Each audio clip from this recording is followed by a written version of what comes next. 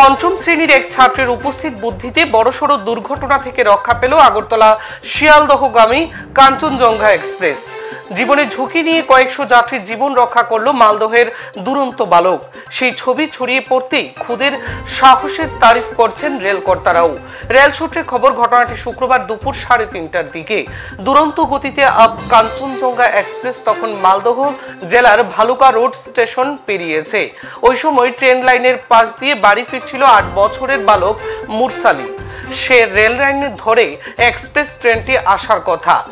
সেখানে একটি জায়গায় বড় গর্ত দেখতে পায় খুদে।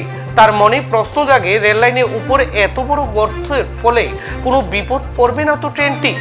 ভাবতে ভাবতে পরনের লাল টি শার্টটা খুলে ফেলে পঞ্চম শ্রেণির পড়ুয়া।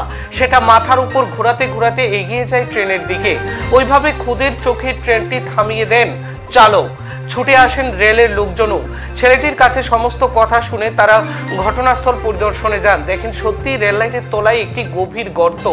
এরপর প্রায় সঙ্গে সঙ্গে শুরু হয় রেল লাইন মেরামতের কাজ।